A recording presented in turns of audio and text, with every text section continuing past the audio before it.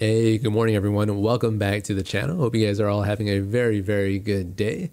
Hope you guys are also ready for episode 7 of our Audible app series tutorial. Now, today's video, we are going to address a comment that has come up in uh, one of the past videos, and I'm going to read to you what exactly that comment is. So we have our user here, uh, Amit Das. I hope I'm pronouncing that correctly. He says that uh, it would be great if you can show us how to deal with screen rotation in this Audible series as it looks pretty ugly, pretty ugly as soon as the screen gets rotated. Okay, so what exactly is he talking about that is ugly? Let me show you guys right now with the simulator. And inside of the application that we have right now, it doesn't exactly handle rotation properly. If I hit command and right, so the command and the right arrow, gives us the rotation of the device. And you'll notice that the pages that are currently show up is not just one page, but two pages, and that doesn't look all that nice. So that's the very first issue. It should actually render out one page only. And the second issue is you uh, sometimes get a couple of different views centered in the middle. So that's the second issue. We need to center the page properly. And then the third issue is something else entirely. So before I kind of show you what that is, let me just go over to my uh, working application here.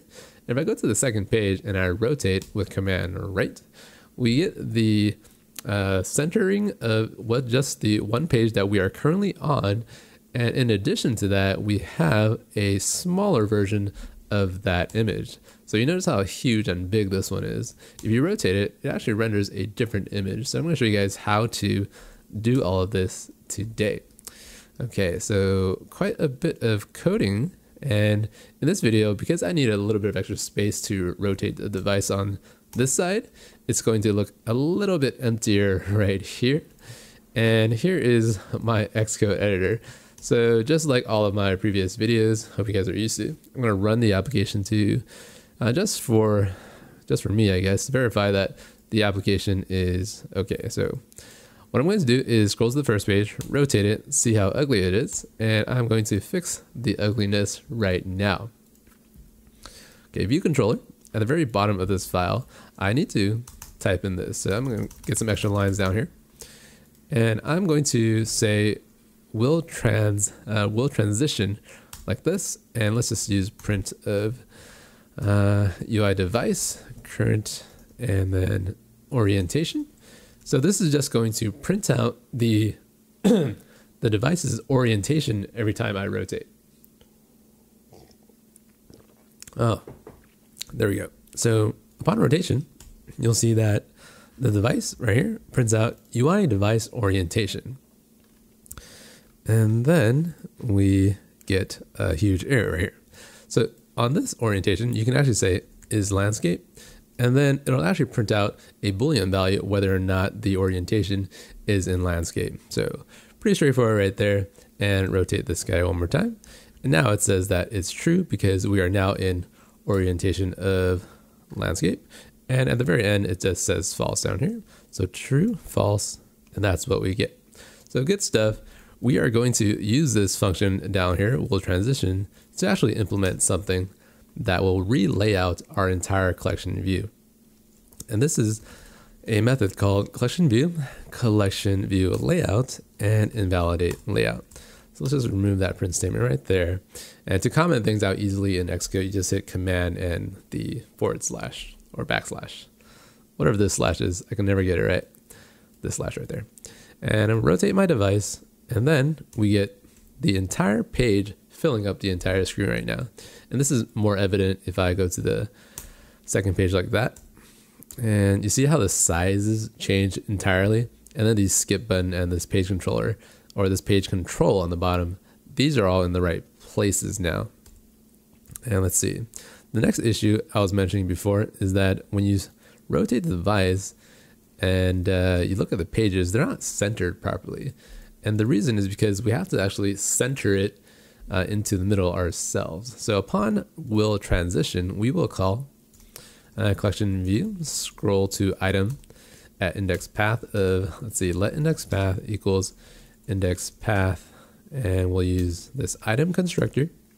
And what is this item value? Uh, basically, it's the current page.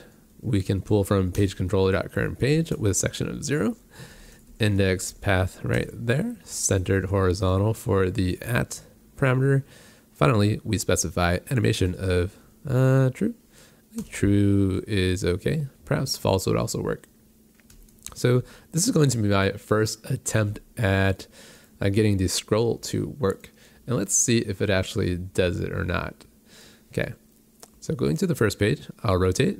And you notice how it doesn't actually uh, scroll to the correct page. And why is that? So why is that? Hmm. Okay, so the reason is because I actually want to call this on a uh, a different moment in time. And if I call this DispatchQueue.main.async and pull this code, see, cut, paste, I'm gonna pull that code into this dispatch right here. And what this means is I'm going to, let's see, let me leave a comment here. Uh, scroll, see, to index path after the rotation is uh, is going. So that's what this kind of means right here. So let's go to the first page, rotate, and then now we get the entire page of the second page into our screen. And that's how that looks like. See, third page looks like that.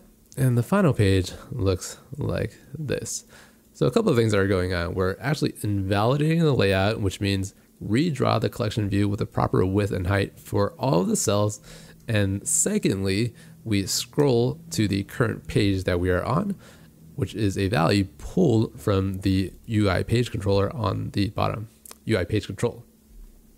Ah, so there it is. So pretty simple stuff uh, once you know how to do it, obviously.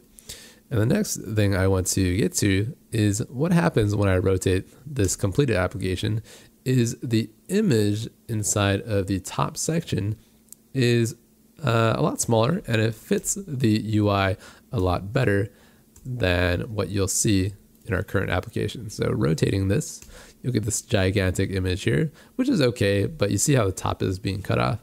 So if you want to load an entirely different image for landscape rotation, let's do this. First, open up assets uh, catalog. I think this guy is called. Next, I will just import these three images. So whatever you want to load, uh, you just want to drag them into your assets and then call it something. And I just conveniently named my images name uh, image names to be the same page value, but with an underscore and landscape at the end. Now, because it's named like this, I can simply go to page cell and inside of this page cell, whenever we set this page value, we are loading the image view dot image equals page dot image name. So this is what this top section is loading.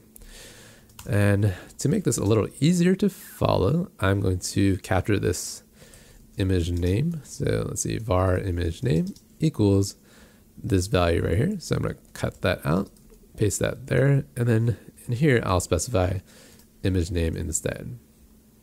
So nothing too fancy. I'm just uh, allocating the image name on top instead. So if I now do this, if UI device dot current dot uh, let's see orientation, yep, there we go, is landscape. We're gonna say image name uh, equals let's see plus equals. I think that works for strings. Plus equals this underscore landscape string, and will that work? I think that'll work. so sometimes I just code this stuff on the fly and see if it works or not. Here we go. The application is running. The moment I scroll over, we will get a smaller image. So, nope, that is not what we get. So I'm to rotate this. Let's see. Rotate this and scroll over. And you notice how this image is actually smaller. So the next page is smaller. And if I go back, this image becomes smaller. Uh, and this becomes a different image as well. So let's take a look at what these images are. So that looks like that, that. And if I hit space, I get this. Hit space, I get this. And hit space, I get this. So that's what's uh, being loaded in the top section. And now let's do this. So the reason why it is not loading this page correctly, and even this looks a little weird, the rotate looks really huge. And the fix is to go back down to view controller into will transition. At the very bottom, we specify self.collectionView.reload data. So this means redraw all your cells and execute all the code that gets um, fired whenever you set this page here.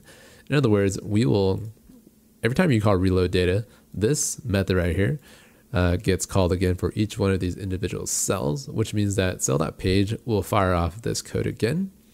Hence, when you rotate the application like this, the image actually gets the correct landscape image instead. So that's what that looks like. And bam, bam, bam. Next page. Let's hit this next button here. Next page. And there we go. So good stuff. That's how you would actually handle the rotation of the device. And make sure to, you know, render your images out separately as uh, portrait and landscape, and you should be okay. So uh, as a kind of bonus here, I kind of want to mention what happens with this keyboard right here. So Command K brings up the keyboard, rotate, uh, gets rid of the keyboard. And if you hit the keyboard here, you'll notice that a lot of the buttons are being hidden. And if I hit pass, uh, password, I can't really see the login button right there. And uh, see, how do we want to fix this here? Basically, I want to translate this view even further up when I'm in landscape mode. So if you go back to view controller and hit control six, you can do keyboard show is the method that gets fired off every time the keyboard shows itself. Uh, pretty self-explanatory there.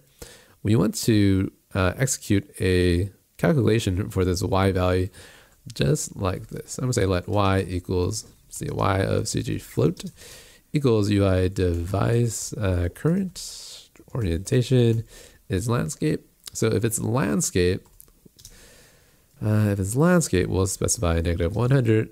Otherwise, we'll specify a value of negative 50, which is that 50 right there, with our y value from above. So this means if it's landscape, translate negative 100. If it's portrait, just only translate a little bit, which is negative 50.